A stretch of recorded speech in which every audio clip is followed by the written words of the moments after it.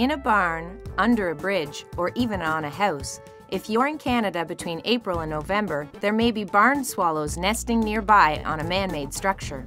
Barn swallows migrate to Central and South America during the winter, but they return each year to nest. They are acrobatic flyers with long, streamlined wings. They can even catch insects and drink water while flying. They're also skilled builders. Mating pairs will make over 1,000 trips to and from their nesting site, carrying mud pellets. Many pairs return to use the same nest each season, where they raise up their two clutches of young per year. Swallows need open areas such as parks or fields to forage for insects. When pesticides, climate change, and other disturbances threaten these resources, it can be difficult for swallows to survive. You can help by providing nesting sites and by using natural gardening products, and that's just a start. To learn more about barn swallows, visit hww.ca.